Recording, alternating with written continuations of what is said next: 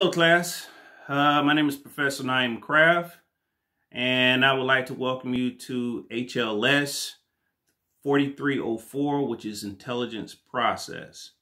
Uh, I really look forward to working with everyone and hope that you'll be able to gain a greater understanding of the intelligence collection process in relation to U.S. national security.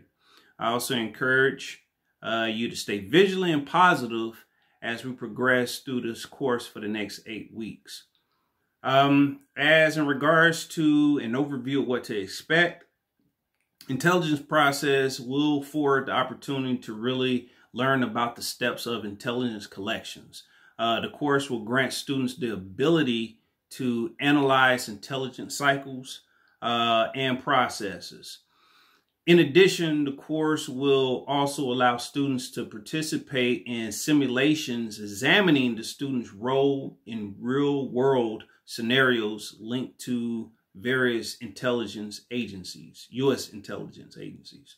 Uh, the course will also include exercises allowing you to apply the knowledge you learned and in a term project.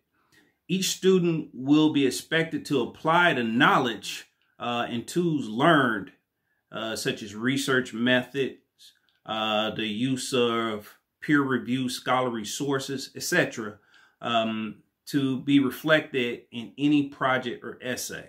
Okay, the course will also include chapter readings, assignments, chapter reading assignments as well. The required reading material for this class will be Lowenthal uh, it's 2019 edition, which of intelligence would be, which will be the eighth edition uh, by Sage Publications. Fortunately, that will be provided in electronic version by the school, so save some money in regards to that.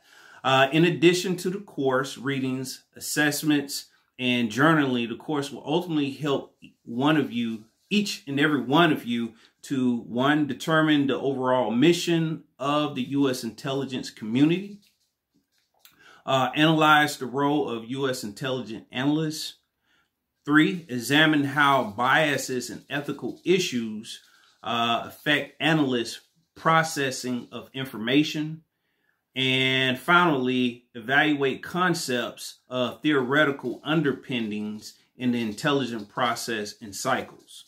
Okay.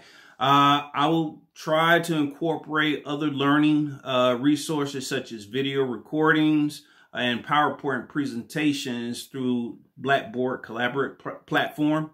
Uh, if you have any questions, please know and remember I'm here to help. And I can be contacted in two of uh, one of two ways, which is either via email, uh, naeem.craft at columbiasouthern.edu or through the Ask a Professor forum on Blackboard.